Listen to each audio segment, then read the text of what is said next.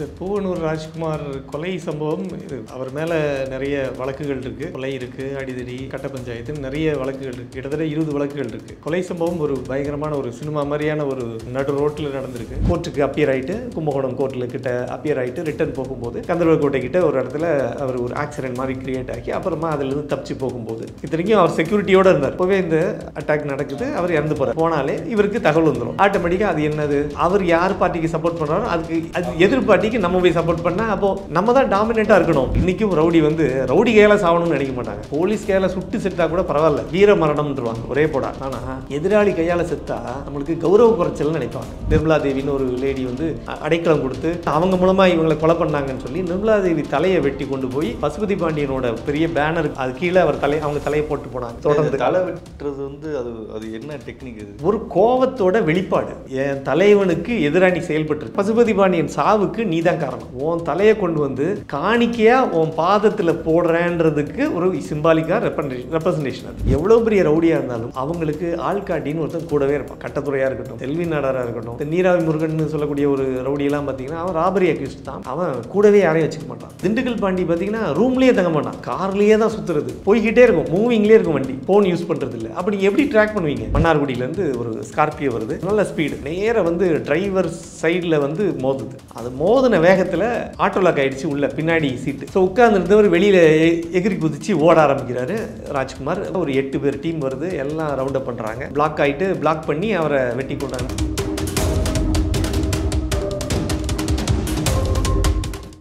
நகரம் பாய்ஸ் உறவுகளுக்கு வணக்கம். இன்றைக்கு கிரைம் செல்வராஜ் அவர்களை சந்தித்து திருவாரூர் நடைபெற்ற தொடர்ந்து நடைபெற்ற கொலை சம்பவம் குறித்து பேச போகிறோம் சார் வணக்கம் சார். வணக்கம். செய்திகள் வந்து பார்த்துருப்பீங்க. பூவை ராஜ்குமாருங்கிறத வந்து கொலை பண்ணிட்டாங்க. அதுக்கு போராட்டம் அப்படிலாம் பண்ணியிருக்காங்க. வளரும் தமிழ் கட்சின்னு சொல்லிட்டு. இந்த கொலை ஏன் நடந்துச்சு? எப்படி நடந்துச்சு? இது பழிவாங்குதல் நடவடிக்கையா? இல்லை எதனால் இது நடந்துச்சு? இந்த பூவனூர் ராஜ்குமார் கொலை சம்பவம் இது அவர் மேலே நிறைய வழக்குகள் இருக்குது கொலை இருக்குது அடிதடி கட்ட பஞ்சாயத்து நிறைய வழக்குகள் இருக்குது கிட்டத்தட்ட இருபது வழக்குகள் இருக்குது அவர் இந்த கொலையில் இந்த கொலை சம்பவம் ஒரு பயங்கரமான ஒரு சினிமா மாதிரியான ஒரு நடு ரோட்டில் நடந்திருக்கு. இந்த கொலையை பற்றி பேசுகிறதுக்கு முன்னாடி நம்ம இதுக்கு முன்னாடி நடந்த ஒரு கொலையை பற்றி பேசிட்டு இதுக்கு வந்தால் கரெக்டாக இருக்கும்னு என்னோட இது. குறிப்பாக ரெண்டாயிரத்தி இருபத்தொன்னில் நவம்பர் பதினொன்றாம் தேதி நடேச தமிழார்வன் அப்படின்னு சொல்லி அவர் வலதுசாரி கட்சியை சேர்ந்த அவர் அவர் கட்சியில் இருக்கிறாரு. கட்சி பொறுப்பு அதே மாதிரி நிறைய பல்வேறு பொறுப்புகள். ஹவுசிங் போர்டில் ஒரு மெம்பராக இருக்கார். அப்புறமா அதே மாதிரி சில ஒன்றியம் அது தனியாக ஒன்று இருக்கார்.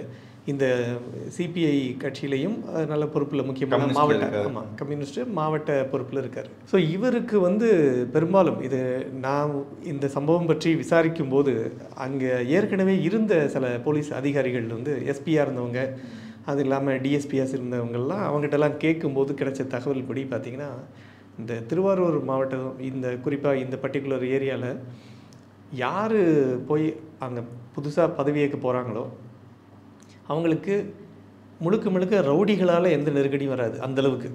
ரவுடி பிரச்சனையே இல்லை அவ்வளவு.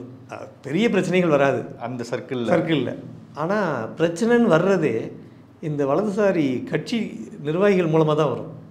ஸோ நிர்வாகிகள்னால் இப்போ நீங்கள் அவங்க எல்லாரும் தப்பு பண்ணுறது இல்லை அதில் குறிப்பாக இப்போ ஒருத்தருக்கு வந்து ஒருத்தரை பிடிக்கல. ஒரு கட்சிக்காரரை பிடிக்கல. இப்போ நீ எக்ஸாம்பிளுக்கு வளரும் தமிழகம்னு இப்போ புதுசாக கட்சி ஒன்று தொடங்கி அது ஒரு அந்த டெல்டாவில் நல்லா ஃபேமஸாக வளர்ந்துக்கிட்டு இருக்கக்கூடிய ஒரு அமைப்பு. இப்போ நமக்கு இங்கே இதில் இருக்குல்ல புரட்சி பாரதம் அமைப்பு. இருக்கு அந்த பகுதியில அந்த பெல்ட்டில் வந்து அவங்க டெல்டாவில் நல்லா பாப்புலராக இருக்காங்க. எல்லாருக்கும் பரிச்சயமான ஒரு ஒரு கட்சி. இப்போ அவங்க இது மாதிரி வளர்றது இவருக்கு பிடிக்காது இந்த மாதிரிலாம். ஸோ இந்த மாதிரி சின்ன சின்ன விஷயங்கள் அப்போது அவங்களது வேணும்னு ஏதாவது ஒரு கேஸை போட்டு எல்லாரும் வந்து பெர்ஃபெக்டாக சில விஷயங்களை பண்ண முடியாது. ஒரு ஏதோ ஒரு சின்ன தவறு பண்ணுறாங்கன்னா உடனே அதுக்காக போய் ஸ்டேஷன் வாசலில் உட்காந்து ப்ரொட்டஸ்ட் ஒரு அஞ்சு பேர் பத்து பேர் தான். ரொம்பலாம் கிடையாது. போய் அதுவும் தமிழார்வன் முன்னாடி நின்று ப்ரொட்டஸ்ட் பண்ணி இல்லை அவர் போக முடியலன்னா ஒரு பத்து பேரை அனுப்பி ப்ரொட்டஸ்ட் பண்ண வச்சு அந்த நபரை கைது பண்ணி உள்ளே போகிற வரைக்கும் விட மாட்டாங்க. அதே மாதிரி பார்த்தீங்கன்னா மணல் எடுப்பாங்க. ஆற்றுல மணல் எடுக்கிறது இது வந்து காலங்காலமாக பண்ணிட்டு இருப்பாங்கன்னு வச்சுக்கோங்க. நடக்கிறது. அதுவும் குறிப்பாக குவாரி எடுத்து நீங்கள் அதில் லீகலாக பண்ணுறது வேற. கிராம இன்னொன்று குவாரி எடுத்துட்டு நீங்கள் இந்த கிராமத்து வழியாக தான் உள்ளே போய் லாரியில் போய் எடுத்துகிட்டு வரணும். அப்போ நீங்கள் இந்த மாதிரி நிறைய இடங்கள்ல நான் கரூர் பக்கம்லாம் பார்த்துருக்கேன். அங்கே அந்த அந்த கிராமத்தை தாண்டி நீங்கள் உள்ளே போக முடியாது. குறுக்க இல்லையாவது கட்டை கட்டையில் போட்டு கல்லெல்லாம் போட்டு வச்சுருவாங்க. அப்போ நீங்கள் லாரி போக முடியாதனால அவங்களுக்கு தனியாக ஒரு கப்பம் கட்டிட்டு தான் உள்ளே போகணும். அந்த கிராமத்துல அந்த கிராமத்துக்கு. அந்த கிராமத்துனா கிராமத்தில் இருக்க எல்லாரும் பெனிஃபிட் ஆக மாட்டாங்க. அதுல உள்ள ஆமாம் அதில் உள்ள ஒரு ஹெட் மாதிரி இருப்பாங்கல்ல அவங்களுக்கு அது பெனிஃபிட் ஆவாங்க. ஸோ நேரடியாக கொள்ளையடிக்கணும்னு அவசியம் இல்லை. நேரடியாக மணல் கொள்ளையில் ஈடுபடணும்னு அவசியம் இல்லை. அது மூலமாக அது பண்ணக்கூடியவங்கள்ட்ட இவங்க பிரைபாக வாங்கிப்பாங்க. அது ஒரு கப்பம் கட்டிட்டு தான் உள்ளே போகிற மாதிரியான ஒரு இல்லைன்னா விட மாட்டாங்க. ஸோ இந்த மாதிரி நல்ல வேலைகள் பண்ணுவாங்க. இப்போ இவருக்கு இதில் வந்து பார்த்தீங்கன்னா குறிப்பாக அந்த போலீஸ் அதிகாரி சொல்லும்போது அங்கே இந்த மாதிரி யாராவது போகிறாங்க இவங்களுக்கு வேண்டாத டீம் ஏதோ ஒன்று போகுதுன்னா அவங்கள வலுக்கட்டாயமாக பிடிச்சி அரெஸ்ட் பண்ண வைக்கிறதுக்கு ரெவென்யூவில் சொல்லி மற்ற டிபார்ட்மெண்ட்டில் பேசி எல்லாத்தையும் பிடிச்சி கொடுக்குற அளவுக்கு பண்ணிடுவாங்க. இப்போ இந்த மணல் கொள்ளையில் ஈடுபட்டா போட்டு கொடுக்கறது. ஆமாம் எல்லாமே. ஆனால் இவங்க பண்ணுவாங்க. அதாவது நல்லது பண்ணுறது ஒரு பக்கம். இது பிடிச்சி கொடுக்கறது நல்ல விஷயம். அதே நேரத்தில் இவங்களும் தனியாக பண்ணிகிட்டு இருப்பாங்க. இப்போ இதெல்லாம் பார்த்தீங்கன்னா ஆன்டி வைஸ் ஸ்குவாட்னு சொல்லுவாங்க. அங்கெல்லாம் அஹ், இந்த இப்போ சில இல்லீகல் ப்ராஸ்டியூஷன் நடக்கும். ப்ராஸ்டியூஷன் நடக்கிறதுன்றது போலீஸ்க்கு டிப் ஆஃப் தான் கிடைக்கும். அது டிப் ஆஃப் கொடுக்கறது ஒரு ப்ராஸ்டியூஷன் பண்ணிக்கிட்டு இருக்க ஒரு ஆள் தான் சொல்லுவார். இன்னொருத்தர். அவர் சொல்லி கொடுத்து இன்னொரு நபரை அரெஸ்ட் பண்ண வச்சிருவாரு. ஆனால் இவர் பண்ணிகிட்டு இருப்பார். இவர் எப்போ மாட்டுவார்னா இந்த இன்ஸ்பெக்டர் போயிட்டு அடுத்த இன்ஸ்பெக்டர் வராங்கல்ல. அப்போ அவங்களுக்கு ஒரு ரேப்போ அந்த எதிர்பார்ட்டி இருக்கான்ல அவன் இவங்களுக்கு ஃப்ரெண்ட் ஆயிடுவான் அப்போ அவன் ரன் பண்ணிக்கிட்டு இருப்பான். அவன் இவனை மேலே போட்டு கொடுப்பான். வேற மற்றவங்கள பற்றி போட்டு கொடுப்பான். அப்போ இவங்கெல்லாம் அரெஸ்ட் ஆவாங்க. ஸோ இது மாதிரி பண்ணும்போது இவர் தொடர்ந்து பண்ணிக்கிட்டு இருக்காரு. நேரடியாவோ ஆளுங்களை வச்சோ பண்ணுறாங்க அந்த அந்த டீம் எல்லாமே பண்ணுறாங்க நடேச தமிழார்வன் இந்த டீம் எல்லாம் பண்ணிக்கிட்டு தான் இருக்காங்க. ஸோ இது மாதிரி ஒன்று அப்புறம் தாலுகா ஆஃபீஸில் போயிட்டு இப்போ நீங்கள் ஒரு ஏதோ ஒன்று இப்போ ஒரு பட்டா வாங்கணும். அதுக்கு ஒரு ப்ரொசீஜர் இருக்குது இப்போ நீங்கள் நார்மலாக பார்த்தீங்கன்னா ஒரு உங்களுக்கு ஏதாவது காணாமல் போச்சு அதை சரி இது பண்ணி கொடுக்கணும் டாக்குமெண்ட் இது வாங்கணும்னா அதுக்குன்னு ஒரு செட் ஆஃப் இது டேஸ் இருக்குது ஆமாம் ஆமா, அது ஒரு ப்ரொசீஜர் இருக்கு. இருக்குது அதெல்லாம் நான் போகிறோம் எங்கால் வந்தால் உடனே பண்ணணும். நீ மற்ற ஆள் போனோன்னா நீ டிலே பண்ணி கொடு. அதெல்லாம் பிரச்சனை இல்லை. எங்கள் ஆளுக்கு இப்படி பண்ணு ஸோ இந்த அளவுக்கு ஒரு டாமினண்ட்டாக இருந்துக்கிட்டு இருந்த ஒரு நபர் தான் நடேச தமிழார்கள் அவர் மேலே பெருசாக வழக்குகள்னு எதுவும் அதாவது இந்த மாதிரி நிறைய பண்ணியிருந்தாலும் இவர் வந்து இந்த சொல் ஜென்ரலாக சொல்லுவாங்கள்ல போலீஸில் வந்து இன்ஃபார்மெண்ட்னு சொல்லுவாங்க. அந்த இன்ஃபார்மருங்கிறவர் யாராக இருப்பாருன்னா அங்கே ஏற்கனவே அந்த தொழிலில் அந்த பிஸ்னஸில் ஏதாவது இன்வால்வ் ஆன ஒருத்தர் தான் அந்த மாதிரி இன்ஃபார்மெண்ட்டாக இருப்பாங்க. அது மாதிரி இவரும் இன்ஃபார்மெண்ட் மாதிரி தான் செயல்படுறது. ஆனால் இன்ஃபார்மெண்ட்டே ஒரு கட்டத்துக்கு மேலே மொனோபொலி ஆகிட்டாங்கன்னா யோசிச்சு பாருங்க. அப்போ அவர் நம்மளை விட்டு ஆள் இல்லைன்னு நினைக்கிற மாதிரி ஒரு சுச்சுவேஷன் ஸோ அந்த அளவுக்கு வளர்ந்துட்டார். ஒரு பத்து வருஷமாக இன்ஃபார்மெண்ட்டாகவே இருக்கு நீ ஒரு முதல் வருஷம் அப்படி பவ்யமாக இருப்பார். ரெண்டாவது வருஷம் கொஞ்சம் அப்படி அப்படியே வளர்ந்து வளர்ந்து ஒரு கட்டத்துக்கு மேலே நான் சொல்கிறது தான் அதை மீறி எதுவும் நடக்கக்கூடாது அப்படின்ற ஒரு டாமினன்ட் கேரக்டராக மாற ஆரம்பிக்கிறாரு. ஸோ இது மாறும்போது ஆட்டோமேட்டிக்காக இன்னொரு தொழில் போட்டின்னு ஒன்று வரும்ல. அதே மாதிரி தொழில் போட்டியில் இப்போ இன்னொருத்தர் வந்து அதுதான் பூவனூர் ராஜ்குமார். இந்த பூவனூர் ராஜ்குமாருக்கு ஏரியாவில் அவரும் ஒரு கட்ட பஞ்சாயத்து பண்ணுறது நம்மளை மீறி எதுவும் நடக்கக்கூடாதுன்ற இவருக்கு உண்டான அதே மனநிலை அவருக்கும் இருக்குது அவரும் தொடர்ந்து பண்ணிட்டு இருக்காரு ஆனால் இதை மீறி அவர் ரெண்டு மூணு கொலைகள்லாம் பண்ணி சின்ன கேசஸ்லாம் வாங்கி கிட்டத்தட்ட இருபது கேஸ் அவர் மேலே இருக்குது பூனராஜ் பூவனூர் ராஜ்குமாருக்கு. ஸோ இப்படி இருக்கும்போது இதில் இன்னொரு முக்கியமான ஒரு பிரச்சனை என்ன அப்படின்னு பார்த்தா நிறைய பேர் டிஸ்கஸ் பண்ணாத விஷயம். கட்சி ஒரு புதுசாக ஒரு கட்சி ஆரம்பிக்கிறாங்க டெவலப் ஆகுது. இதே மாதிரி தான் பார்த்தீங்கன்னா டெல்டா கிங்கு மாவீரன்னு சொல்லக்கூடிய சாம்பவர் மணல்மேடு சங்கர் பார்த்தீங்கன்னா அவரும் இதே மாதிரி தான் புதுசாக ஒரு கட்சி மாதிரி ஒன்று ஆரம்பித்து அவருக்குன்னு ஒரு ஃபாலோவர்ஸ் வர ஆரம்பிக்கும் போது தான் பூண்டி கலைச்செல்வனுக்கு வந்து சண்டை ஒரு பிரச்சனை வருது. விட்டா நமக்கே போட்டி அவர் வரும் அப்படின்னு சொல்லி தான் மணல்மேடு சங்கர் என்கவுண்ட் என்கவுண்டரில் அவர் இறந்து போகிறாரு அந்த அவர் கோர்ட்டுக்கு அப்பியர் ஆகிட்டு கும்பகோணம் கோர்ட்டில் கிட்ட அப்பியர் ஆகிட்டு ரிட்டர்ன் போகும்போது கந்தர்வக்கோட்டை கிட்ட ஒரு இடத்துல அவர் ஒரு ஆக்சிடென்ட் மாதிரி க்ரியேட் ஆகி அப்புறமா அதுலேருந்து தப்பிச்சு போகும்போது இத்தனைக்கும் அவர் செக்யூரிட்டியோடு இருந்தார். அவர் போ அவங்க வந்து கோர்ட்லேயே கேட்டு எனக்கு வந்து பாதுகாப்பு இல்லை என்னை போலீஸே என்கவுண்டர் பண்ணிடுவாங்களோன்னு பயமாக இருக்குன்னு சொல்லி ஒரு எஸ்கார்டு வாங்கி வச்சுருக்காரு கூடவே. அந்த எஸ்கார்டும் கூட இருக்கார். அப்போவே இந்த அட்டாக் நடக்குது. அவர் இறந்து போகிறார் ஸோ அது மாதிரி எல்லாருக்குமே ஒரு அதாவது ஏதோ சொல்லுவாங்களே ஹாட் சீட் மாதிரியான ஒரு பதவி அது. ஒரு பொறுப்பு நமக்கு வேணும் அப்படின்னா நமக்கு எதிராளியே இருக்கக்கூடாதுன்னு நினைக்கிறது ஒரு எல்லாரோட மனப்பான்மை. எப்படின்னா படத்துலலாம் பார்த்தோம் இந்த ஏரியா எந்த ஆமாம் இதுதான். இவரும் ஃபார்ம் ஆகிறார் இப்போ ஏற்கனவே இவர் இன்ஃபார்மர்ன்ற ஒரு போர்வையில் நிறைய விஷயங்களை இப்போ இவருக்கு அரசியல் சார்ந்து ஏதாவது ஒரு பிரச்சனைகள் அப்படி வர ஆரம்பிக்கும் போது இப்போ நீங்களே இருக்கீங்க நான் தான் வந்து நடேச தமிழார்வன். நீங்கள் வந்து பூவனூர் ராஜ்குமார்னு ராஜ்குமார் வச்சுக்கோங்க. இப்போ நான் வந்து நீங்கள் வளர்றது எனக்கு பிடிக்கல. நான் என்ன பண்ணுவேன்? இப்படி எங்கெங்கே போகிறீங்கன்னு ஒரு ஆளை போடு. தனியாக எங்கெங்கே போகிறீங்க இங்கே போய் ஒரு யார்ட்டையோ ஒரு மாமூல் வாங்குறீங்க ஒரு டாஸ்மாக் கடையில்.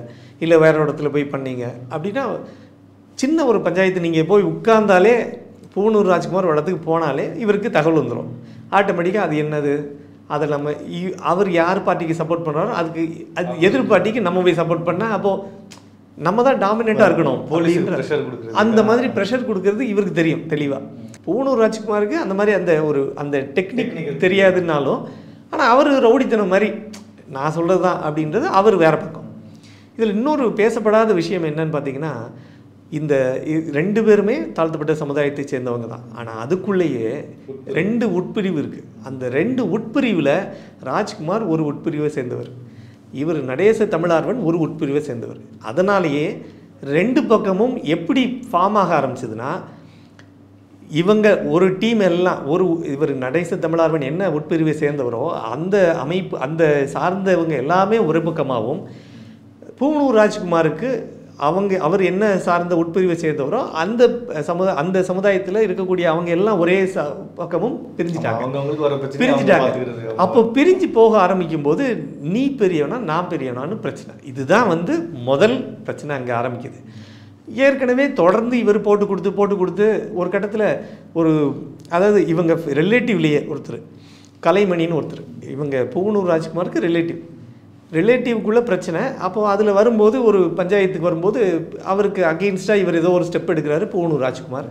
அதை ஸ்டெப் எடுக்கும்போது அந்த விஷயத்தில் அந்த கலைமணிக்கு இவர் சப்போர்ட்டுக்கு போகிறார் ரெண்டு பேரும் வேறு வேறு உட்பிரிவு இருந்தாலும் நம்ம அங்கேயும் போய் ஒரு பஞ்சாயத்து பண்ணாதான் நம்மளோட பவர் என்னன்னு தெரியும்ன்றத உள்ளே போய் இறங்கி பண்ணுறாரு அதுக்கு ஏற்ற மாதிரி உள்ளே போய் பண்ணிவிட்டு அங்கே ஒரு குட்டி கலாட்டம் நடந்துச்சு. நடந்த பிறகு கலைமணியை கொண்டு போய் பெட்டிஷன் கொடுக்க வச்சு பெட்டிஷன் கொடுத்த பிறகு இவருக்கு ஏற்கனவே தெரிஞ்ச டெக்னிக் வந்து ப்ரெஷர் வந்து போலீஸுக்கு கொடுப்பாரு. அந்த மாதிரி போலீஸுக்கு ப்ரெஷர் கொடுத்து ராஜ்குமாரையும் அவர் சகோதரர் ராமூர்த்தியும் கைது பண்ண வச்சிருக்காரு அரெஸ்ட் பண்ணி வச்சுட்டு அரெஸ்டே பண்ணிட்டாங்க. பெரிய கேஸ் இல்லை பட் இருந்தாலும் கைதுன்றதே ஒரு பெரிய அவங்களுக்குலாம் வந்து பெரிய கௌரவ குறைச்சலா பெரிய மட்டையை பண்ணி போனாங்கன்னா வேற விஷயம். அதுக்கு வந்து அவங்களுக்கு சரி பரவாயில்ல அப்படின்னு நினைப்பாங்க. இன்னும் பார்த்தீங்கன்னா நிறைய பேர் இன்றைக்கும் ரவுடி வந்து ரவுடி கையால் சாவணும்னு நினைக்க மாட்டாங்க. போலீஸ் கையால் சுட்டு செத்தா கூட பரவாயில்ல. வீர மரணம்ன்றவாங்க ஒரே போடா. ஆனால் எதிராளி கையால் செத்தா நம்மளுக்கு கௌரவ குறைச்சல்னு நினைப்பாங்க. அது மாதிரி இது வந்து என்ன இப்போ சின்ன விஷயம் இருந்தாலும் ஜெயிலுக்கு கொண்டு போய் வச்சுட்டானே. யாரோ அவர் காது பட நாலு பேர் பேசுகிறானே என்னண்ணே நம்ம அவன் வந்து நமக்கு சப்போர்ட் பண்ணுற மாதிரி ஆயிடுச்சுண்ணே அப்படின்ற மாதிரி ஒரு ரெண்டு வார்த்தை பேசினா என்ன ஆகும்? இவங்களுக்கு ஏறிக்கும். அந்த மாதிரி பிரச்சனை ஆரம்பிக்கும் போது இது வேற மேக்னிடியூட் ஆகுது. ஜெயிலிருந்து வெளியில் வராரு. வந்த பிறகே ஒரு ஸ்கெட்ச் போடுறாங்க. இதுக்கு மேலே இதுக்கு மேலே விட்டோம்னா நம்ம அரசியல் பண்ண முடியாது. நம்ம இங்கே நம்மளுக்கு ஒரு ஃபாலோவர்ஸ் இருக்காங்க. இந்த ஃபாலோவர்ஸ் எல்லாம் ஆட்டோமேட்டிக்காக இங்கேருந்து அங்கே இங்கே தாவி போயிட்டாங்க. இல்லை பிரிஞ்சு போயிட்டாங்க. புதுசாக இப்போ ராஜ்குமாருக்குள்ளேயே சொல்கிறேன் அவர் சார்ந்த அந்த உட்பிரிவுலேயே அவர் மட்டுமா தலைவராக இருப்பார்? அவர் மாதிரி இன்னும் நாலு பேர் இருப்பாங்க. அவன் இதுக்கு தான் வெயிட் பண்ணிட்டுருப்பான் இப்போ அவர் வேஸ்ட்டுப்பா அவர் எல்லாம் அவருக்கு எல்லாம் டீலிங் பேசிட்டாரு. நம்ம தனியாக நம்ம ஃபார்ம் பண்ணோன்னு அவர் ஒன்று புதுசாக ஆரம்பிப்பாங்க. ஸோ இங்கே இருக்கிற குரூப்பை அப்படியே அவங்களுக்கு இழுத்துக்கிறதுக்கு ட்ரை பண்ணுவாங்க. இந்த மாதிரி பிரச்சனைகள் எல்லா இடத்துலையுமே இருக்கும் அப்படிங்கிறதுனால இதுக்கு ஒரு முடிவு கட்டுறதுக்கு அவர் என்ன பிளான் பண்ணாருன்னா காலி பண்ணோம் அப்படின்னு. ஸோ பூனூர் ராஜ்குமார் பிளான் பண்ண மாதிரியே அவர் வழக்கமாக அவர் அந்த ஒரு இது இருக்குது தொடக்க வேளாண்மை கூட்டுறவு வங்கி ஒன்று இருக்குது அது பக்கத்தில் இவர் வழக்கமாக அங்கே போயிட்டு அது ஒரு கடைவீதி அந்த நீடாமங்கலத்தில் ஒரு கடை வீதி பக்கத்தில் இருக்கக்கூடிய அந்த பகுதிக்கு அடிக்கடி வந்து போவார். அங்கே யாரையோ வந்து அவரோட நண்பர் ஒருத்தரை பார்த்துட்டு சந்தித்து பேச வந்த நாள் அந்த நவம்பர் பதினொன்று ரெண்டாயிரத்தி இருபத்தொன்னில் ஒரு டீம் எட்டு பேர் கேங் வருது. வந்து வெட்டி கொன்னுட்டு இப்போ தான் நம்ம பார்த்தோம். அதாவது ரெண்டாயிரத்தி இருபத்தி ஒன்றில் தான் தொடர்ந்து இந்த தலைவெட்டி கொலைகள் நிறைய நடந்தது. அந்த இதில் இதுவும் தலை வெட்டிட்டாங்க. அதில் நடந்த தலை வெட்டி கொலை வந்து ஒருத்தரோட இதுக்கு பழி வாங்குறதுக்காக செய்யப்பட்ட விஷயங்கள். அதில் வந்து பார்த்திங்கன்னா பசுபதி பாண்டியனோட அவங்கள வந்து நிர்மலா தேவின்னு ஒரு லேடி வந்து அடைக்கலம் கொடுத்து அந்த இவங்க அவங்க ப சுபாஷ் பண்ணையார் டீமை வந்து உள்ளே இறக்கும்போது அடைக்கலம் கொடுத்து அவங்க மூலமாக இவங்களை கொலை பண்ணாங்கன்னு சொல்லி நிர்மலா தேவி தலையை வெட்டி கொண்டு போய் பசுபதி பாண்டியனோட பெரிய பேனருக்கு அது கீழே அவர் தலை அவங்க தலையை போட்டு போனாங்க. இது மாதிரி இன்னும் ரெண்டு மூணு சம்பவங்கள் நடந்தது தொடர்ந்து. தலை வெட்டுறது வந்து அது அது என்ன டெக்னிக் இது? இல்லை ஒரு கோவத்தோட வெளிப்பாடு வேற ஒன்றும் இல்லை. இப்போ நீங்கள் கொன்னுட்டாலும் முடிஞ்சு போச்சு ஆ கொன்னுட்டா முடிஞ்சு போச்சு இல்லை. நீ என்ன பண்ணியிருக்கன்னா நீ வந்து என் தலைவனுக்கு எதிராக நீ செயல்பட்டிருக்க. உன்னால தான் என் தலைவர் என் லீடரு செத்து போயிருக்காரு. இப்போ குறிப்பாக பசுபதி பாண்டியன்னா பசுபதி பாண்டியன் சாவுக்கு நீ தான் காரணம். இப்போ நீ இல்லைன்னா பசுபதி பாண்டியன் அண்ணன் வந்து உயிரோடு வந்திருப்பாரு அப்படின்றது அவங்களோட எண்ணம். அப்போது உன் தலையை கொண்டு வந்து காணிக்கையாக உன் பாதத்தில் போடுறேன்றதுக்கு ஒரு சிம்பாலிக்காக ரெப்ரண்டேஷன் ரெப்ரசன்டேஷன் அது. அந்த மாதிரி ஒரு அந்த கோபத்தோட வெளிப்பாடை இந்த மாதிரி காட்டுறது. ஸோ அது மாதிரி இவங்களும் இந்த சம்பவத்தில் பார்த்தீங்கன்னா தலையை வெட்டி தனியாக துண்டாக வெட்டிட்டாங்க. இதில் வந்து நீங்கள் யார் காலடியிலையும் கொண்டு போய் போடல அந்த மாதிரி இல்லை பட் தலையை துண்டாக வெட்டி எடுத்துட்டாங்க. இந்த கொலை அது வந்து ஒரு பட்டப்பகலில் நடந்த விஷயம். எல்லாம் அப்படி கடை ஏன்னா அந்த டைமில் எனக்கே ஞாபகம் நல்ல ஞாபகம் ஆ, இருக்கு விசிஸ்டி நாலு ஃபுல்லாக சிசிடிவி எல்லாம் வந்து எல்லாம் அப்படியே பதறி அடிச்சுட்டு ஓடுறாங்க. ஏன்னா அந்த கடை வீதிங்கிறது ஜென்ரலாக கடைகள் எல்லாமே சுற்றி சுற்றி அந்த சின்ன சின்ன கடைகள் பெரிய கடைகள் எல்லாமே இருக்குது அந்த கடை வீதி ஃபுல்லாகவே அது முழுக்க இருக்கிற மக்கள்லாம் செதறி ஓடுறாங்க. ஏதாவது பிரச்சனை ஆக போகுது அப்படின்னு. அது அதுக்கு ஏற்ற மாதிரி உடனேவே நடேச தமிழார்வன் இறந்துட்டாருன்னு கேள்விப்பட்டவுடனே அந்த வலதுசாரி கட்சியை சேர்ந்த தொண்டர்கள் அவங்களுக்கு தெரிஞ்சவங்க வேண்டியவங்க ஃப்ரெண்டு ரிலேட்டிவ் எல்லாரும் ஓடி வராங்க பார்த்துட்டு இருக்கிற அவங்களுக்கு என்ன அந்த கோபத்தின் வெளிப்பாடு என்ன அப்படின்னா நம்ம இதுக்கு ஏதாவது பழி வாங்கணும். நேரடியாக அவர் போய் அட்டு இப்போ பூனூர் ராஜ்குமார் தான் பண்ணியிருப்பாருன்னு தெரியும். நேரடியாக கைது பண்ண முடியாது அவங்கள போய் பிடிக்க முடியாது ஓடி போயிருப்பாங்க. என்ன பண்ணுறது கிடைக்கிறதெல்லாம் அடிச்சுன்னு இருக்குது அப்படின்னு அங்கே இருந்த பஸ்ஸு கண்ணாடி பைக்கு காரு என்னென்ன இருந்ததோ கண்ணாடி அப்புறமா கடைகள் சின்ன சின்ன கடைகள் போட்டிருந்த எல்லாத்தையும் அடிச்சுன்னு இருக்கிறாங்க ஒரு பெரிய ஒரு கலவரம் நடந்த மாதிரி ஒரு சூழல் ஏற்பட்டது. இவ இதே மாதிரி தான் பூண்டி கலைச்செல்வனை கொலை செய்யப்பட்ட பிறகு இதே மாதிரியான ஒரு சூழல் அந்த ஃபுல்லாகவே நடந்தது. அந்த ஏரியா முழுக்க. ஸோ அந்த மாதிரி திருவாரூரில் இந்த மாதிரி ஒரு சம்பவம் மீண்டும் நிகழ்ந்ததற்கான ஒரு சூழல் இப்போது வந்தது ரெண்டாயிரத்தி இருபத்தொன்னில். அதுக்கப்புறமா போலீஸ் என்ன பண்ணாங்கன்னா இது தொடர்பாக இந்த கேங் தான் பண்ணியிருக்கும்ன்றத ஓரளவு கெஸ் பண்ணி அதில் தொடர்புடைய எல்லாரையுமே கைது பண்ணாங்க. அதில் பார்த்தீங்கன்னா அரையூர் எழிலரசன் ஒருத்தர் இருபத்தி ரெண்டு வயசு பையன். அப்புறம் பூவனூர் அக்ரஹாரம் மனோஜ்னு ஒரு பையன் இருபத்தி மூணு வயசு. அப்புறம் மாதவன் ஒருத்தர். அப்புறம் பாடகச்சேரியை சேர்ந்தவர் அவர். அப்புறம் பூவனூர் ராஜ்குமார் முப்பத்தி மூணு வயசு. அப்புறம் தென்பாதி சேன சேனாதிபதினு ஒரு சேனாபதின்னு சொல்லி இருபத்தஞ்சி வயசு பையன். ஸோ இவங்க எல்லாம் ஒரு அஞ்சு பேரை உடனடியாக கைது பண்ணிட்டாங்க. மாற்றி அப்புறமா திரும்பி இவங்களுக்கு கைது பண்ண பிறகு ஏற்கனவே பூனூர் ராஜ்குமார் தான் அதில் கீ பர்சன் அது முக்கியமான பிரைம் சஸ்பெக்ட் அப்படிங்கிறதுனால அவருக்கு ஏற்கனவே இருபது வழக்குகள் கிட்ட பெண்டிங் இருந்ததுனால அவருக்கு என்ன பண்ணாங்கன்னா குண்டாஸில் தூக்கி உள்ளே போடுறாங்க. குண்டர் சட்டத்தில் கைது பண்ணி அவர் சிறைக்கு போகிறாரு அப்புறமா அதுக்கு அப்பீல் போகிறாங்க திரும்பி அது கன்ஃபார்ம் ஆகுது. திரும்பி அப்படி சிறைக்குள்ளேயே இருக்கார். அவருக்கும் அது ஓகே தான். ஏன்னா நிறைய பேர் இந்த மாதிரி ஒரு கொலையாளிகள் எப்போவுமே பார்த்திங்கன்னா கொலை பண்ணோன்னே வெளியில் வரணும்னு எதிர்பார்க்க மாட்டாங்க. ஏன்னா வெளியில் வந்தால் டார்கெட் பண்ணுவாங்கன்னு தெரியும். அதனாலேயே அவங்களுக்கு ஒரு ஒரு பயம் இருக்கும். ப்ளஸ் அதே நேரத்தில் எல்லாரோடிக்குமே ஒரு பயம் இருக்கும். சும்மா வெளியில் தான் ஈவன் பார்த்தீங்கன்னா ஒரு ஒன்றுக்கு போகணுன்னா கூட ஒரு ரெண்டு பேரை கூப்பிட்டு போவாங்க. என்ன வெளியில் சின்ன சத்தம்? லைட்டை போட்டுக்கோ பார்த்துக்கோ. உயிர் பயம். அதுதான் சொல்கிறேன் அப்படி தான் அவங்க வாழ்க்கையே. எனக்கு தெரிஞ்சு ஒரு திருச்சியில் இருக்கும்போது ஒரு தெரிஞ்சு நல்ல க்ளோஸாக பழகிட்டு இருந்த ஒரு நண்பர் ஒருத்தர். அவர் ரவுடி தான் பல கொலைகள் பண்ணியிருக்காரு. அவர்லாம் பார்த்தீங்கன்னா சம்டைம்ஸ் ஏதாவது ஆட்டோ இருக்கும். ஆட்டோவில் உட்காந்து பேசிகிட்டு இருக்க அந்த கேம்பெயின் ஸ்கூல் எதிரில் பேசிகிட்டு இருப்போம். இல்லைன்னா கோர்ட்டுக்குள்ளே வந்து கோர்ட்டுக்கு விசாரணைக்கு வருவார். வந்துட்டு அப்போ நீங்கள் கையில் எதுவும் ஆயுதம்லாம் எடுத்துகிட்டு வர முடியாது. அந்த மாதிரி ஒரு சம்பவத்தில் தான் திரும்பி போகும்போது கேம்பெயின் ஸ்கூல் வாசல்லே வச்சு வெட்டி கொண்டுட்டாங்க அந்த எதிர் டீம். அப்போ உள்ளே வரும்போது பார்த்தீங்கன்னா அந்த யாராவது அவங்க ஆட்டோ ஃப்ரெண்டு வந்திருக்காங்கன்னா ஆட்டோவில் வந்து உட்காந்து ஆட்டோவில் தூங்கிட்டு இருப்பார். என்ன என்ன ஆச்சு அப்படின்னா நல்லா தூங்கி ரொம்ப நாள் ஆச்சுப்பா ஏதோ இங்கே யாரும் வரமாட்டாங்க. ஏன்னா கோர்ட்டுக்குள்ள இல்லை யாரும் வந்தால் விட்ட மாட்டாங்க எதுவும் பிரச்சனை வந்துடாதுன்னு நம்பிக்கையில் தூங்கிட்டு இருக்கேன் பாரு. ஸோ ரவுடிகளுக்கு முழுக்க முழுக்க கத்தி எடுத்துட்டிங்கன்னா கத்தியில் தான் அவங்களுக்கு முடிவுன்ற மாதிரி பெரிய ஒரு பதட்டம் பயம் இருக்கும். அது வெளியில் காட்ட மாட்டாங்க. இன்னொன்று அது காட்டாமல் இருக்கிறதுக்கு தான் அந்த உருவ அமைப்பு. ஒரு பயங்கரமாக அந்த பார்க்கவே ஒரு கொடூரமாக காட்டுற மாதிரியான சில முக பாவனைகள் வச்சுக்கிறது மீசையை பெருசாக வச்சுக்கிறது. அப்புறமா உடல் நல்ல பாடி ஃபிட்டாக வச்சுப்பாங்க. அதெல்லாம் இது. ஸோ இந்த மாதிரி சில விஷயங்கள் மூலமாக தன்னை வந்து ஒரு பெரிய ஒரு ஆஜானுபாகமான அந்த உடம்பை வச்சு சில அந்த பயமுறுத்துகிற மாதிரி பண்ணிப்பாங்க. ஆனால் உண்மையாகவே குழந்த மனசாக இருக்கும். அது வேற விஷயம். பட் அந்த எமோஷனில் பார்த்தீங்கன்னா they will be doing lot of other things இப்போ அதை நம்ம ஒன்றும் கண்ட்ரோல் பண்ண முடியாது. அவங்கள வந்து அந்த கண்ட்ரோல் பண்ணணும் அப்படின்னு நினச்சிருந்தா அந்த ஆரம்ப ஸ்டேஜ்லேயே பண்ணியிருந்தாங்கன்னா மாறியிருப்பாங்க கொலை பண்ணி அப்புறம் அது கையில் கத்தி எடுத்தாச்சுன்னா திரும்பி கத்தியை தான் கீழே போட முடியாது. கீழே வச்சுட்டா திரும்ப இவ்வளோ கட்டிடுவாங்க ஸோ அதனால் வந்து அந்த பயம் பூனூர் ராஜ்குமாருக்கும் இருக்கிறதுனால அப்புறமா பிடிச்சிட்டாங்க அரெஸ்ட் பண்ணிட்டாங்க உள்ளே போயிட்டாங்க. சிறைக்குள்ளேயே இருக்கும். குண்டாஸ் போட்டாலும் பரவாயில்ல உள்ளே இருப்போம். அப்படின்னு தொடர்ந்து இருக்கார். ஸோ பூனூர் ராஜ்குமாருக்கு இவன் இதுக்கிடையில் இந்த நடேச தமிழார்வன் அவர் ஒரு பெரிய ஒரு உண்மையாகவே வலதுசாரி கட்சிக்கு அவர் ஒரு அமைப்பை சார்ந்து ஒரு கட்சியை சார்ந்தவர் ஒரு இந்த தாழ்த்தப்பட்ட சமுதாயத்தில் ஒரு உட்பிரிவை சேர்ந்தவர் இப்படி நிறைய இருந்தாலும் அந்த இடத்த ஃபில் பண்ணுறதுக்கு இன்னைக்கு வரைக்கும் ஒரு ஈக்குவலாக ஒருத்தர் இல்லை. ம், அந்த இடத்துல வர்றதுக்கு.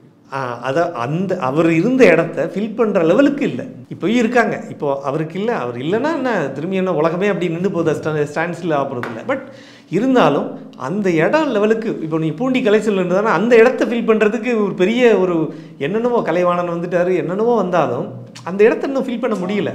அந்த மாதிரி ஒரு ஒரு ஆளுமையில் அவர் ஒரு பெரிய ஆளுமையாக தான் கருதணும். உண்மையாகவே அதை அப்ரிஷியேட் பண்ணணும். ஆனால் அவரோட செயல்பாடுகள் ஒரு செல்ஃபிஷாக இருக்கும். அதை நம்ம ஏற்றுக்கிட்டு தான் ஆகணும். அவர் பண்ணக்கூடிய விஷயங்கள் அவர் செய்கிறது எல்லாமே வந்து அவங்க அவங்களுக்கு ஃபேவராக இருக்கணும் அப்படின்றதுக்காக சில பண்ணக்கூடிய விஷயம். ஸோ இது மாதிரி தொடர்ந்து பூனூர் ராஜ்குமார் ஜெயிலு ஜெயிலுக்குள்ளே இருக்கார். இப்போ ஏற்கனவே நடேச தமிழார்வனுக்கு ஒரு மனைவி பழனிவேலுன்னு சொல்லி அந்த அம்மா இருக்காங்க. அவங்களுக்கு ஒரு ரெண்டு பசங்க இன்னொரு ரெண்டு பொண்ணுங்க ஒரு பையன். அதில் பையன்தான் தான் ஸ்டாலின் பாரதின்னு சொல்லி அவர் ஸ்டாலின் பாரதி அவர் வந்து மெட்ராஸ் ஹைகோர்ட்டில் லாயராக ஒர்க் பண்ணிட்டு இருக்காரு உண்மையாக அவரோட இறப்பு யாரோட இவருன்னு இல்லை. எந்த ஒரு ஒருத்தர் வந்து இறந்து போகிறாங்கன்னா அவங்க பசங்களுக்கு அவங்க தான் ரோல் மாடல் அப்பா தான் பைஸ் பசங்க பொண்ணுங்களாக இருக்கட்டும் பையனாக இருக்கட்டும் ரோல் மாடல் யாருன்னா அப்பா தான். இன்றைக்கும் நீங்கள் யாரை வேணால் கேட்கலாம். எ- அவன் வந்து அவர் ரவுடியாகவே இருந்தால் கூட அப்பா தான் ரோல் மாடல் அப்பா பண்ணுறது கரெக்டாக இருக்கும். அப்படி தான் நினைப்பாங்க.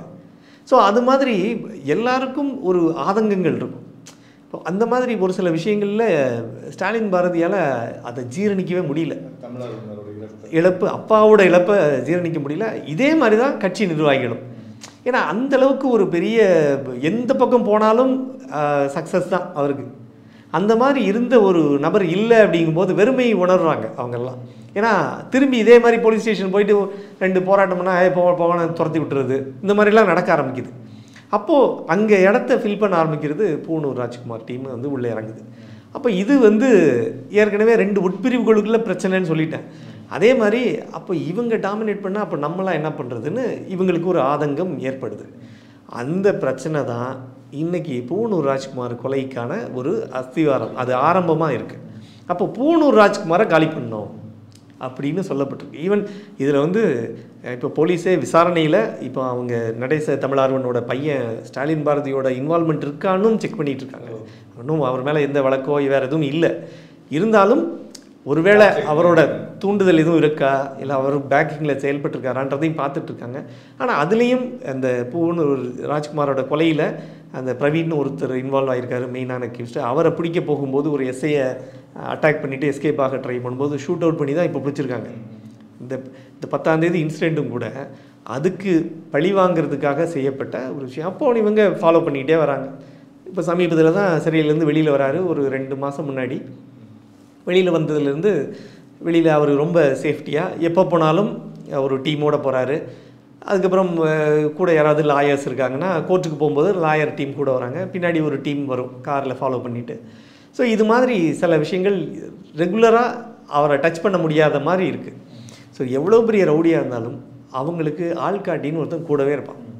எவ்வளோ பெரிய கட்டத்துறையாக இருக்கட்டும் செல்வி நாடாராக இருக்கட்டும் இல்லை வேற எப்படி எப்பட்ட ஆளாக இருந்தோம் ஆமாம் அவங்க அதனாலேயே பார்த்தீங்கன்னா இந்த நீராவி முருகன் சொல்லக்கூடிய ஒரு ரவுடியெல்லாம் பார்த்தீங்கன்னா அவன் ராபரி அக்யூஸ்ட் தான். பட் அவன் கூடவே யாரையும் வச்சுக்க மாட்டான். ஒரே நபரை வச்சுருந்தா போட்டு கொடுத்துருவாங்க நம்மளை டார்கெட் பண்ணிடுவாங்க இல்லை போலீஸ் நம்மளை பிடிச்சிரும்னு பயந்து போய் கிட்டே வச்சுக்க மாட்டான். அதே மாதிரி திண்டுக்கல் பாண்டி பார்த்தீங்கன்னா ரூம்லேயே தங்க மாட்டான்.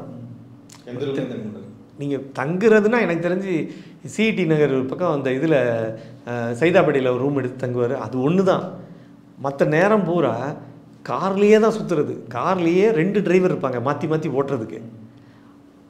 கார்லேயே தான் தூங்குறது கார்லேயே தான் சாப்பிட்றது எல்லாமே. எங் போய்கிட்டே இருக்கும் மூவிங்லேயே இருக்கும் வண்டி. ஃபோன் யூஸ் பண்ணுறது இல்லை அப்போ நீங்கள் எப்படி ட்ராக் பண்ணுவீங்க? இப்போ அக்யூஸ்டுமே அவனை ஃபிக்ஸ் பண்ணவே முடியாதுல்ல. இப்போ ஒன் ஒரு பேஜுக்கு சொல்லணும்னு நீங்கள் நான் வந்து இப்போ தான் செங்கல்பட்டு தாங்குறேன்னு அவன் போட்டு கொடுக்குறான் ஒருத்தன். போட்டு கொடுத்தா கூட அடுத்தது நேராக செங்கல்பட்டு போயிட்டே இருக்கும்போதே டே ரைட்டடு நேராக காஞ்சிபுரம் போயிருன்னா இவங்க நேராக தேடி எங்கே போய் கண்டுபிடிக்கிறது?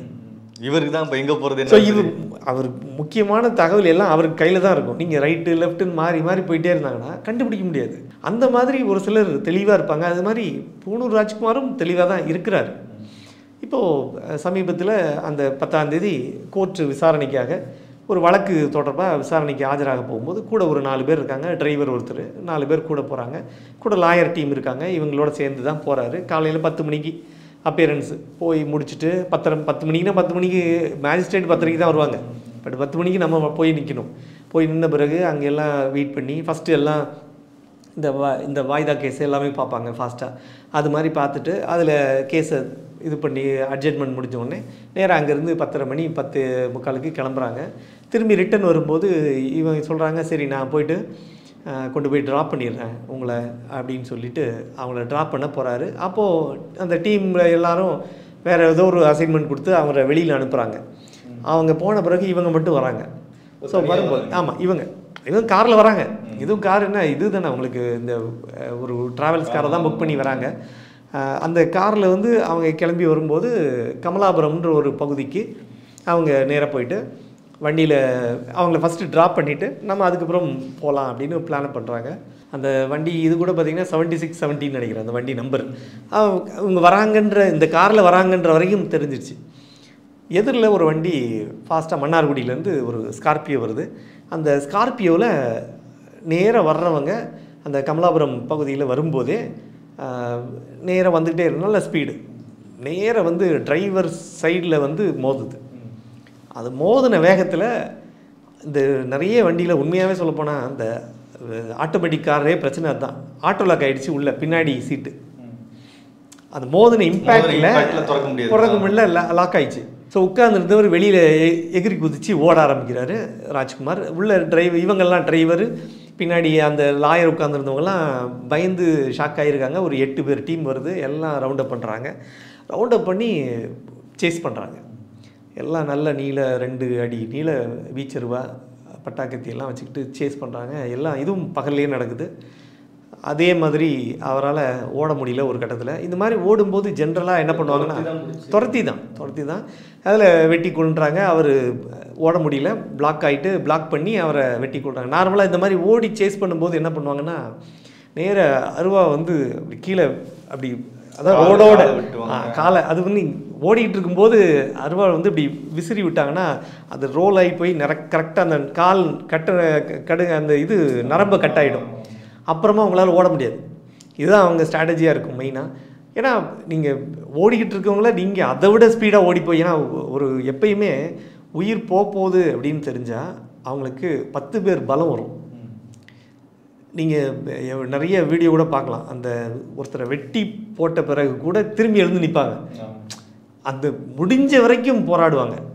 அந்த பெயின்லாம் ஒருவேளை உயிரோட பொழைச்சிட்டா கூட அந்த பெயின் எப்போ தெரியும்னா அடிபட்டு ஹாஸ்பிட்டலில் அட்மிட் ஆகும்போது அந்த பெயின் ஃபுல்லாக தெரியும். அப்படி இருக்கும். ஆனால் அந்த உயிர் போக போகுதுன்னு தெரியும் போது உடம்புக்குள்ள அந்த அட்ரினல் சுரப்பி அந்த அளவுக்கு ஸ்பீடாக வேலை பார்த்து உங்களை வந்து ஒரு பெரிய பலசாலி ஆக்கி விட்டுரும். அந்த மாதிரி அப்படி சூழலில் கொண்டு போகும்போது அவங்களால ஒரு அஞ்சு பேர் பத்து பேரை கூட அட்டாக் பண்ண முடியும். ஆனால் கையில் ஏதாவது பொருள் வேணும். இப்போ நீங்கள் ஒரு ரவுடியே அட்டாக் பண்ண போகும்போது அவன் கையில் ஏதாவது பொருள் இருக்கணும். இப்போ இது கோர்ட்டுக்கு போயிட்டு வர்றதுனால கையில் பொருள் இல்லை. அந்த விஷயத்தினால இவன் மாட்டி அது ஏதோ இன்ஃபார்ம் பண்ணி தான் ஆமாம் கண்டிப்பாக ஆள்காட்டி இல்லாமல் ஒருத்தரை கொலையே பண்ண முடியாது. ஸோ அது மாதிரி அந்த கொலை நடக்குது. கொலை சம்பவத்துக்கு அப்புறம் தகவல் கிடச்சதும் அப்புறம் எஸ்பி இப்போது செந்தில்குமார்னு இருக்கார். அவர் அப்புறம் அடிஷ்னல் எஸ்பி அவர் வெள்ளத்துறைன்னு சொல்லி மற்ற டீம் எல்லாம் வராங்க போகிறாங்க விசாரிக்கிறாங்க. இதெல்லாம் நடக்குது. இதில் பெரிய ஏன்னா பழிக்கு பழியாக நடந்த கொலைன்றதை கன்ஃபார்ம் பண்ணிடுறாங்க போலீஸு அதுக்கப்புறம் இதில் சம்மந்தப்பட்டது யார் அப்படின்றது விசாரிக்கிறாங்க. அப்படி விசாரிக்கும் போது தான் ரெண்டு நாள் கழித்து இப்போது முந்தினேத்து நைட்டு அப்போது பிடிக்கும்போது போகும்போது அந்த பிரவீன் ஒரு- அந்த ஒன் ஆஃப் த அக்யூஸ்ட் வந்து ஒரு இடத்துல பதுங்கியிருக்கான் அப்படின்ற தகவல் கேள்விப்பட்டு போய் போலீஸ் டீமே ரவுண்ட் அப் பண்ணுறாங்க ரவுண்ட் அப் பண்ணி பிடிக்கும்போது அவன் போலீஸை அட்டாக் பண்ணிவிட்டு தப்பிச்சு போக ட்ரை பண்ணுறான் அவனை ஷூட் அவுட் பண்ணுறாங்க அதில் முட்டி கீழே தான். இப்போல்லாம் ஷூட் அவுட்னாலே முட்டி கீழே தான் இப்போ தெளிவாக இருக்காங்க. ஏன்னா எதுக்கு தேவையில்லாத ஹியூமன் ரைட்ஸ் கமிஷன் ஆமாம் அதில் ஏன்னா அவங்க மேலேயே எஃப்ஐஆர் ஆயிடுது இப்போ. இப்போ பல கேஸ் அந்த மாதிரி வரும்போது எல்லாமே அதில் எல்லாத்துக்குமே என்ன வந்துடுதுன்னா இப்போ முழுக்க அது எல்லாம் ஒரு இது மாதிரி கொண்டு போயிடுறாங்க. நீங்கள் ஆமாம் ஹியூமன் ரைட்ஸ் போனால் அப்புறம் மர்டர் கேஸ் புக் பண்ணிட்டாங்கன்னா எதுக்கு தேவையில்லாத வேலை அப்படின்னு சொல்லிட்டு அந்த மாதிரி ஒரு பிரச்சனை வருது. ஸோ அதனால் அவங்க சேஃப்டிக்கு பண்ணுறாங்க அப்புறம் இது தொடர்பாக இன்னும் ஒரு அஞ்சு பேர் கை செய்யப்பட்டிருக்காங்க இப்போ. இந்த கைதோடு இது முடிய போகிறதில்ல இப்போ நான் அந்த ஏற்கனவே இருந்த ஒரு சில அதிகாரிகள்கிட்ட பேசும்போது அவங்க சொன்ன தகவல் வந்து கண்டிப்பாக ஏதாவது ஒரு அவங்க ஃபேமிலி மெம்பர்ஸு இல்லை அவங்க ரிலேட்டிவ்ஸில் யாராவது ஒரு ஹேண்டி ஒர்க் இருக்கணும். ஏன்னா எந்த அளவுக்கு ஒரு ஒரு வெறியோடு வந்து பண்ணணும்னா அந்த இழந்த அந்த ஃபேமிலி மெம்பர்ஸில் யாராவது ஒருத்தரோட இன்வால்மெண்ட் இல்லாமல் இதை பண்ணியிருக்கவே முடியாது அப்படின்ற விஷயங்களை சொல்லியிருந்தாங்க. அதே மாதிரி இன்னொன்று இதோட நிற்குமா ஒருவேளை மறுபடியும் தொடருமா? ஏன்னா ராஜ்குமாரோட பசங்க அவனோட ஃப்ரெண்ட்ஸு இப்போ அந்த அசோசியேட்ஸ் எல்லாம் ட்ரை பண்ணுவாங்களா? திரும்பி யார் பண்ணாங்கன்னு பார்த்து இப்போ இந்த கைது பண்ண இந்த பிரவீனாக இருக்கட்டும் இல்லை கூட வேறு யாராவது கைதானாங்கன்னா அவங்க யாரை டார்கெட் பண்ணுறதுக்கான வாய்ப்பு இருக்குது ஆனால் ஒரு விஷயம் அவங்க சொன்னது இந்த விஷயம் இதோட நிற்க போகிறதில்ல ஆனால் இந்த கொலைகள் அதாவது ராஜ்குமார் ஃபேமிலி போய் திரும்பி அங்கே கொல்றாங்க அப்படின்றது இல்லை. ஆனால் அந்த இந்த உட்பிரிவு பிரச்சனை இருக்குல்ல இந்த தாழ்த்தப்பட்ட ரெண்டு சமுதாயத்தை சேர்ந்த அந்த ஒரே சமுதாயத்தை சேர்ந்த உட்பிரிவுகளில் இருக்கக்கூடிய ரெண்டு டீம் வந்து இந்த ஃபைட்டு தொடரும் அப்படின்றத அவர் சொன்னார். இது தொடரும் அது நிற்கவே நிற்காதுன்றார் ஏன்னா ரெண்டு பேரும் விடவே மாட்டாங்களாம். இந்த விடாக்கண்டன் கொடாக்கண்டமாக தான். நீங்கள் வந்து இவங்க சேரணும்னு நினச்சா கூட விட மாட்டாங்க. ஏன்னா அப்போ தான் அரசியல் பண்ண முடியும். ஈவன் பார்த்தீங்கன்னா அந்த வளரும் தமிழகம் கட்சியை பற்றியே அவரே கொஞ்சம் புகழ்ந்து தான் சொல்லிட்டு இருந்தார். ஏன்னா அவங்க தனியாக ஒரு உட்பிரிவு கட்சி தனியாக ஆரம்பித்து பண்ணிகிட்டு இருந்தாலும் கூட அது பட்டாபிராம்னு பாளை பட்டாபிராம்னு ஒருத்தர் தான் ரன் பண்ணிருக்காரு. இப்போ அவங்க தான் அந்த டீம் தான் போய் இப்போ ராஜ்குமார் இறந்த பிறகு போய் ப்ரொட்டஸ்ட் பண்ணது தகராறு பண்ணது. இப்பயும் அதே மாதிரி கண்ணா காரு கண்ணாடி பஸ் கண்ணாடி எல்லாத்தையும் அடிச்சுன்னு இருக்கிறாங்க ஒரு பெரிய கலவரம் நடந்தது அன்னைக்கே. அந்த சம்பவம் நடந்த அன்னைக்கே நடந்தது. அதுக்கப்புறம் இந்த பாடியை வாங்க மாட்டோன்ட்டாங்க நீங்கள் கைது பண்ணுங்கள் அப்புறம் வாங்குறோன்னு சொல்லி ப்ரொட்டஸ்ட் பண்ணாங்க. அதுக்கப்புறம் நேராக கலெக்டர் ஆஃபீஸில் போய் ஒரு முறையிட்டு அது ஒரு ப்ரொட்டஸ்ட் நடந்தது. அப்புறம் திருவா இந்த திருவாரூர் மன்னார் இதுக்கு தஞ்சாவூர் போகக்கூடிய அந்த ரோட்டில் ஃபுல்லாக மறியல் பண்ணி தொடர்ந்து ஒரு ரெண்டு மூணு மணி நேரம் வண்டி எதுவுமே போக முடியல. அந்த அளவுக்கு மெயின் ரோடே பிளாக் பண்ணிட்டாங்க. ஸோ இந்த மாதிரி தொடர்ந்து நடந்தது. இந்த வழக்கில் கூட பார்த்திங்கன்னா அந்த கலவரத்தில் ஈடுபட்டதாக ஒரு பத்து பேர் மேலே தனியாக வழக்கு போட்டிருக்காங்க. அதே மாதிரி அவர் இந்த பாளை பட்டாபிராமன் அந்த வளரும் தமிழகம் கட்சியோட நிறுவன தலைவர் இருக்கார்ல அவர் மேலேயும் தனி அவர் கூட இன்னொரு முப்பது பேர் மேலே ப்ரொட்டஸ்ட் பண்ணாங்கன்னு. அதாவது இந்த ஃப்ளாஷ் ப்ரொட்டஸ்ட் பண்ணாங்கன்னு சொல்லி அவங்க மேலேயும் தனியாக வழக்கு பதிவு செய்யப்பட்டிருக்கு. இந்த மாதிரி ஒரு பக்கம் போயிட்டு இருந்தாலும் இந்த கட்சிக்கு நீங்கள் நார்மலாக வந்து பார்த்தீங்கன்னா அந்த கொடியங்குளம் இன்சிடெண்ட்டாக இருக்கட்டும் இல்லை நீங்கள் ஏன்னா கொடியங்குளம் இன்சிடென்ட் நடந்த உடனே பார்த்தீங்கன்னா ஒரு அமைப்பு ஒரு குறிப்பிட்ட ஒரு தாழ்த்தப்பட்ட சமுதாயத்துக்காக போராடுறேன்னு ஒரு லீடர் வந்தார். அப்படி அதை கொண்டு போனார் எம்எல்ஏ ஆனார் அப்புறம் அவ்வளோதான் அவர் மட்டும் பெரிய ஆளானார் எல்லாமே இப்போ நடந்தது. பட் அதுக்கப்புறம் ஒன்றும் நடக்கலை. மக்களுக்கு அப்படியே கையை விட்டு அந்த வி- விவேக் சொல்கிற மாதிரி தான் எல்லாருக்கும் என்ன பண்ண அதே தான் அப்படின்ற மாதிரி தான் ஏன்னா மக்கள் அப்படி ஏமாறக்கூடிய அதாவது அதுக்காக ஏமாந்தவங்கன்னு சொல்ல முடியாது. அவங்க ஏதாவது ஒரு நம்ம தலைவன் ஆமா யாராச்சும் ஏதாவது ஒண்ணு பண்ணுவாங்க. அஹ் நமக்காக ஏதாச்சும் ஏதாவது பண்ணுவாங்க. ஒண்ணு நட நல்லது நடக்கும்னு தான் அவங்க போகிறாங்க அதை பயன்படுத்திக்கிறாங்க. இந்த அரசியல் கட்சியினர் வந்து அதை எல்லாமே பயன்படுத்திக்கிறாங்க. இப்பயும் எனக்கு தெரிஞ்சு இந்த டீம் அப்படியே ஒரு பக்கம் இப்போ ஒன்றுமே லீடர்ஷிப்பே இல்லைன்னா நேரா அதிகாரிகள்கிட்ட போனா நடக்காது. இந்த மாதிரி அரசியல் கட்சி தலைவர் கூட்டிட்டு போனா ஈஸியா நடக்குதுங்கிறனால வந்து அது ஏங்க இதெல்லாம் உண்மை. நான் இல்லைன்னே சொல்லலை. இதெல்லாம் நைன்டிஸில் உள்ள கதையை இப்போ பேசுனாங்கன்னா இப்போல்லாம் ஒன்றும் வேணாங்க. ஆர்டிஐன்னு ஒரு பெரிய டூல் இருக்குங்க. பப்ளிக்கு நார்மலாக இருக்கக்கூடிய பப்ளிக்கு ஆர்டிஐன்னு ஒரு பெரிய டூல் இருக்குது எவ்வளோ பேர் அதை பயன்படுத்துகிறாங்கன்னு எனக்கு தெரியல. நிறைய பேர் தெரியாது தெரியறதே இல்லை. இப்போ நீங்கள் நார்மலாக கார்ப்பரேஷனில் ஒரு பிரச்சனை. அப்படின்னா கார்ப்பரேஷனில் நீங்கள் போய் இப்போ சென்னை கார்ப்பரேஷனில் இருக்கீங்க அப்படின்னா நீங்கள் இதுக்கு கம்ப்ளைண்ட் பண்ணுறதுக்கு கார்ப்பரேஷனில் ஒரு வெப்சைட் தனியாக ஒன்று இருக்குது அந்த வெப்சைட் எவ்வளோ பேருக்கு தெரியும்? அந்த வெப்சைட்டில் போய் கம்ப்ளைண்ட் பண்ணிங்கன்னா ஆக்ஷன் எடுத்தே ஆகணும். விதின் டுவெண்ட்டி ஃபோர் ஹவர்ஸில் நீங்கள் ரிப்ளை பண்ணணும். ஒன்று க்ளோஸ் பண்ணணும். இல்லை இதில் இந்த ஆக்ஷன் எடுத்தேன்னு ரிசால்வ் பண்ணியிருக்கணும். அவ்வளோ விஷயம் இருக்குது நம்ம சென்னைன்னு ஆப் அது. நம்ம சென்னை ஆப்புக்குள்ளே போய் நீங்கள் பண்ணலாம். ஆனால் அதுலேயும் ஒரு வில்லங்கம் இருக்குதுன்னு வச்சுக்கோங்க. இப்போ என்ன பண்ணுறாங்கன்னா நீங்கள் யாராவது இப்போ நீங்கள் நீங்கள் இருக்க எங்கள் பிரபாகரன் நீங்கள் வந்து ஒரு நம்ம சென்னை ஆப்பில் இப்போ நீங்கள் உங்கள் வீடு வந்து இப்போ ஈகாடத்தங்கள் பக்கத்தில் அம்பாள் நகர் பக்கத்தில் உங்கள் பிரச்சனை ஏதோ ஒன்று ரோட்டில் வந்து எவ்வளோ பிரச்சனை பண்ணிட்டுருக்கான். இது வந்து இல்லை கடை போட்டிருக்கான். இதை நீங்கள் ஒரு பெட்டிஷனாக போடுறீங்கன்னா இந்த நம்ம சென்னை ஆப்பில் இருக்கவங்க இப்போ என்ன பண்ணுறாங்கன்னா நேராக அந்த சம்மந்தப்பட்ட நீங்கள் யார் மேலே கொடுத்துருக்கீங்களோ நீங்கள் காளி காளின்னு ஒருத்தர் மேலே கொடுத்துருக்கீங்கன்னா காளிகிட்ட போயிட்டு பா தம்பி காளி இல்லை உன் மேலே கம்ப்ளைண்ட்டு பிரபாகரன் ஒருத்தர் கொடுத்துருக்காருப்பா உன் வீட்டு பக்கத்தில் தான் இருக்காரு. பார்த்துக்கப்பா அப்படின்னு கொடுத்துட்டு போயிடும் இந்த மாதிரி வில்லங்கம் பண்ணுறான் பட் இது ரொம்ப நாள் நீடிக்காது. இப்போ இது வந்து அதாவது எப்பயுமே ஒரு சிஸ்டம் ஒன்று ஃபார்ம் ஆயிடுச்சுன்னா இட் ப்ரிவேல்ஸ் ஆக்சுவலாக அதை வந்து யாரும் பிளாக் பண்ணிட முடியாது. இப்போ நீங்கள் அங்கே இருக்கக்கூடிய அதிகாரிகள் தவறாக சிலரை மிஸ்கைட் பண்ணுறதுனால நடக்கிற விஷயங்கள் இது.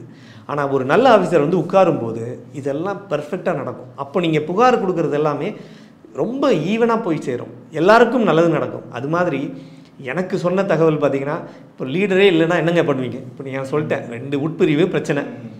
பூவனூர் ராஜ்குமார் இறந்து போயிட்டார். இந்த பக்கமும் இறந்து போயிட்டார். இதை பயன்படுத்திக்கிறது யார் பண்ணுவாங்க? ஒன்று விடுதலை சிறுத்தைகள் கட்சி உள்ளே போகணும். இல்லைன்னா இப்போ என்ன பிளானுன்னா எனக்கு தெரிஞ்சது பிஜேபி உள்ளே புகுந்து ஏதோ பேசி கொஞ்சம் கன்வின்ஸ் பண்ணி ஏன்னா அங்கே பெல்ட் அவங்களுக்கு வேணும். இல்லை ஃபஸ்ட்டு பிஜேபி பேர் அடிபட்டுச்சு தமிழர்னு இறந்த பிஜேபி அது அப்படி சொன்னாங்க அந்த ஒரு முருகானந்தம் அவர் பேரை சொல்லப்பட்டது பட் அது இல்லைன்றது அப்புறமா ப்ரூவ் ஆயிடுச்சு. பட் இருந்தாலும் ஏன்னா நீங்கள் அவங்களுக்கு ஒரு நீங்கள் சொன்னீங்க பாருங்க இப்போ ஏன் அங்கே போகிறாங்க அப்படின்னா ஏதோ அரசியல் கட்சியில் யாராவது உள்ளே போனால் ஒரு வேலை நடக்கும். ஆனால் இப்போ நீங்கள் ஏன் பிஜேபி பக்கம் இப்போ போக மாட்டேன்றாங்க அப்படின்னா போனால் இருக்கிற பிரச்சனையில் நம்ம வில்லங்கம் பண்ணி விட்டுருவாங்க. நமக்கு வேலை நடக்காது. நம்ம சும்மா போனால் கூட நடந்துரும். இவங்க கூட போனால் நடக்காதுங்கனால போகாமல் உட்காந்துருக்காங்க பட் அந்த மாதிரி ரொம்ப நெருக்கடி ரொம்ப அவங்க மேலே ப்ரெஷர் ஜாஸ்தியாக போச்சுன்னா இது போகிறதுக்கான வாய்ப்பு ஜாஸ்தி. ஸோ அதனால் இப்போதைக்கு இந்த ரெண்டு பேரும் சேரதுக்கான வாய்ப்பு ரொம்ப கம்மி. தொடர்ந்து இது மாதிரி வேற கட்சிகள் பயன்படுத்திக்கும். பயன்படு இது அதுதான் சொல்ல வந்தேன். இப்போது இந்த இந்த விஷயத்தை வேறு மாற்று கட்சிகள் குறிப்பாக இந்த அங்கே இருக்கக்கூடிய அந்த லோக்கலில் இருக்கக்கூடிய கட்சிகள் வந்து அதை பயன்படுத்தி அது மூலமாக அவங்க வளர்றதுக்கான வாய்ப்பு இருக்குது வளரும் தமிழகம் கண்டிப்பாக அந்த பக்கம் வளர்ந்துக்கிட்டு தான் இருக்குது டெல்டாவில் பாப்புலராக இருக்காங்க. பட் அவங்க ஒரு பக்கம் வளர்ந்தாலும் இன்னொரு பிரிவு அவங்க நெக்லெக்டடாக ஃபீல் பண்ணுற அந்த டீம் வந்து மேபி ஜாயின் அவங்க வந்து வேறு ஒரு பார்ட்டியோட ஜாயின் பண்ணி இன்னும் வேறு மாதிரி ஒரு புது மாஸ்க் போட்டு வெளியில் வர்றதுக்கான வாய்ப்பு இருக்குது பட் ரெண்டு பேருக்குண்டான அந்த பனிப்போர் தொடரும்.